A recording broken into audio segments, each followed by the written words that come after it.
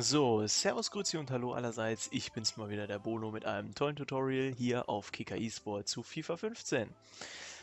Ja, das wäre eigentlich schon wieder die wunderbare Einleitung, mit der ich jetzt direkt fortfahre zu dem, was wir heute machen. Und zwar geht es heute um wieder mal eine Taktikvorstellung zu dem derzeit besten Team, das sich in FIFA 15 in den USA findet.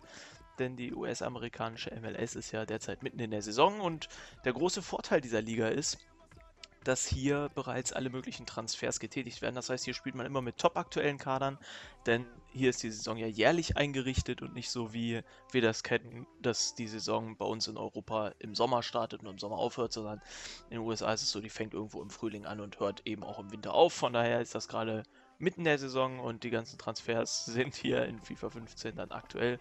Das beste Team, das sich derzeit dann in den USA findet, kommt tatsächlich aus Seattle. Ja, die Seattle Sounders vom FC, quasi ähnlich wie vielleicht im Football möchte man meinen, wo die Seahawks ja auch ganz gut dabei sind. Hier mit ähnlichen Vereinsfarben auf jeden Fall, in grün und blau. Mag vielleicht ein bisschen merkwürdig anmuten, aber was soll's. Hier jetzt mit einigen Transfers, die das Team ziemlich interessant machen. Dreieinhalb Sterne Team, kleiner Nachteil, man spielt halt regelmäßig auch gegen vier Sterne Teams, aber aufgrund dieses Kaders, finde ich, müsst ihr euch auch vor keinem größeren vier Sterne Team verstecken selbst. Ich habe hier ein 4-4-2 Raute gewählt. Man kann das selbstverständlich auch ein bisschen anders machen, denn die Seattle Sounders verfügen über einen Kader, der einige Spieler hat, die sonst noch potenziell mit in diese Mannschaft rutschen könnten, wenn ihr gerne ein anderes System spielen wolltet. Das heißt, ihr seid nicht zwangsweise hier dran gebunden, wenn ihr vernünftig spielen wollt. Das ist jedenfalls meine Meinung. Und von daher ist das definitiv mal ein Blick wert, gerade für die Fans des MLS oder der MLS. So. Guck mal, vorne im Sturm Oberfemi Martins, kennen wir auch bereits aus der Bundesliga, hat mal beim VfL Wolfsburg gespielt, ist äußerst schnell dabei. Antritt 93, Sprintgeschwindigkeit 89, auch vernünftige Ausdauer. Also als Stürmer definitiv eine Speerspitze, kann man so nutzen. Andere Stürmer ebenfalls ein alter Bekannter aus der Bundesliga, letzte Saison noch bei Eintracht Frankfurt unter Vertrag, ist jetzt Nelson Valdez auch nicht so langsam, sicherlich nicht der schnellste Spieler der Welt, aber im Großen und Ganzen eben gerade was Kopfbälle und sowas angeht, ein absolutes Strafraumtier, auch mit seiner Erfahrung da definitiv nutzbar im 16er selber. Dahinter haben wir den US-Amerikaner Clint Dempsey, der auch für die Nationalmannschaft von Jürgen Klinsmann spielt, der überall ganz gut ist. Ansonsten normalerweise eben Stürmer. Ich positioniere ihn hier auf der 10 denn er verfügt eben, wie man auch sehen kann, über Ballkontrolle, er verfügt über einen guten Wert beim kurzen Pass mit 80. Das ist also jemand, der definitiv hinter den Spitzen ein bisschen hervorstechen kann, ansonsten auch selber natürlich den Abschluss suchen kann. Er ist Stürmer, keine Frage, kann mit beiden Füßen einigermaßen gut abschließen. Ist also von daher absolut offensiv gut brauchbar.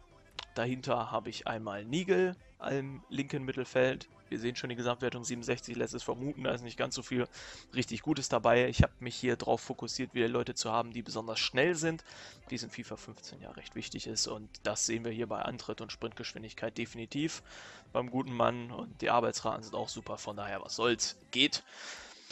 Hinten auf der 8 oder auf der 6, je nachdem, wie man das taktisch dann am Ende positioniert, ist jetzt Andreas Ivanschitz, der Ex-Mainzer, einer meiner Lieblingsfußballer, muss ich auch ehrlich sagen.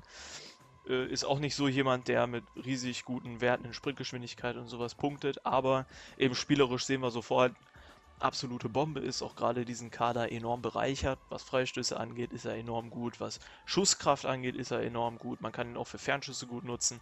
In Zweikämpfen ist es so, ja, ist ein bisschen schwierig, mag man durchaus sagen. 1,84 allerdings immer noch die Größe. Zwei Sterne der schwache Fuß an die Ivanschitz, also definitiv Linksfuß. Das muss man sich merken, wenn man mit dem spielt. Aber ansonsten ein super Fußballer.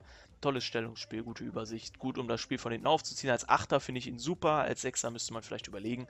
Da sind eben Stärke und Zweikampf nicht so richtig gegeben. Da müsste man sonst ein bisschen justieren, aber das geht.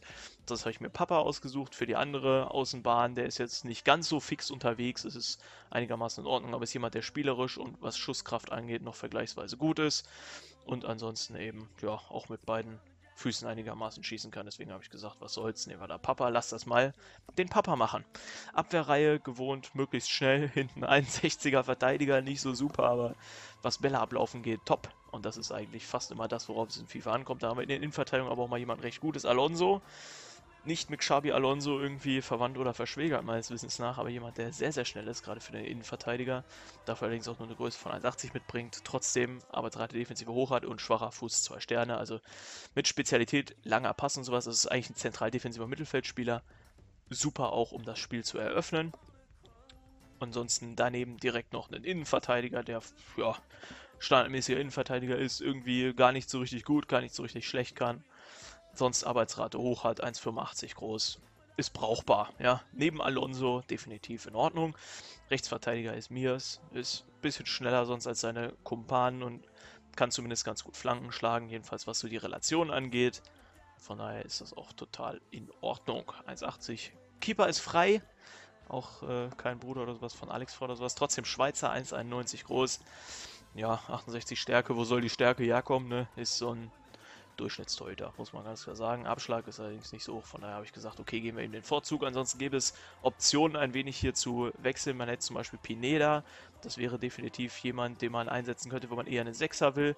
Der ist, was faire Zweikämpfe und sowas angeht, eine Ecke stärker als Andreas Ivanschitz, dafür im ganzen spielerischen Bereich eben nicht unbedingt. Hat dafür auch noch ein bisschen bessere Arbeitsraten. Man könnte auch Rose nutzen. Das wäre sonst auch jemand, den man vielleicht als anderen Achter eher haben will, denn auch hier sind faire Zweikämpfe und so nicht ganz ausgeprägt. Arbeitsraten sind dafür top. Innenverteidiger wäre sonst jemand. Marshall ist jetzt nicht so schnell und naja, gut. Also man, man kann einiges machen, man hat auch noch einen sehr schnellen Stürmer zur Verfügung, der aber auch außer Laufen gar nichts kann. Was soll's? Ist definitiv eine lustige Sache, wenn man relativ schnellen Fußball spielen will. Das ist mit diesem Team immer möglich und auch eigentlich Grundlage des Ganzen, an den Ball reinflanken oder im Zweifelsfall über den schnellen Martins spielen und dann kann man sich sehr viel rausarbeiten. Freistöße mit Andy Ivanschitz. Super. In dem Sinne, ich hoffe, euch gefällt das. Ich hoffe, das ist auch genau euer Shit und dann wünsche ich euch damit definitiv sehr viel Spaß und bis zum nächsten Mal. Danke, ciao. Yeah.